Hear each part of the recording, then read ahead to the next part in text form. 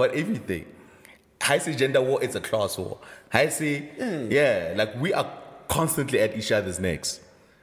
Constantly. And I, I sometimes wonder, like, what the other communities' internets sort of like, like What- the Twitter what- what it spaces looks for, like. for white people, Indian people. Omung, there's a guy who, who posted a, a picture of him on a scale. I think he was weighing like 67 point something. Hmm. And then this lady was like, um, you know, this is um, when I do a leg press, Jesus. I, I, I do this much. Jesus. So are you saying that I, I could I can press lift you.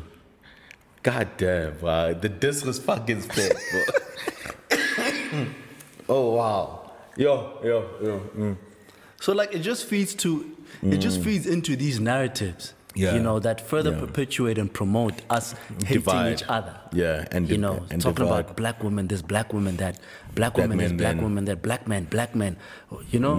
Mm, It's a constant war zone, Yeah. and, And- and- even even when you not, when you have not experienced such things, Mm.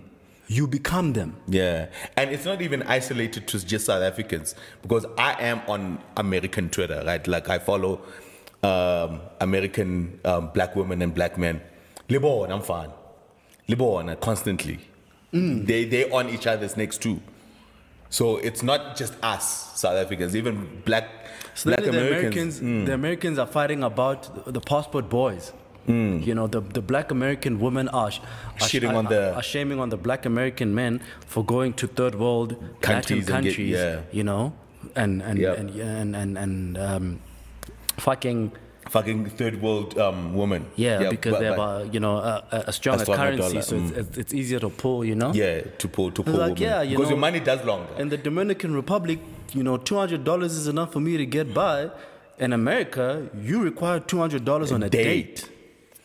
I want because the money stretches for them. You see, so I look at that content, you know, and then I merge it with the s- subsistency tweet, mm, and then mm, it mm. makes all the sense in my mind. Yep. And then all of a sudden, my brain is shifted, Yep. Yep. And now I'm looking at y'all a certain way. yep.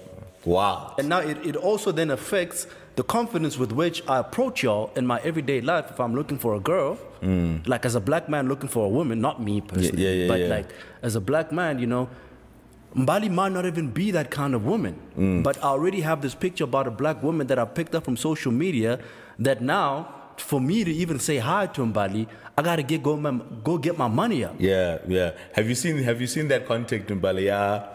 Okay, it's, I think it's a dating show, like a social media dating show, where a man would walk up woman but already balloon.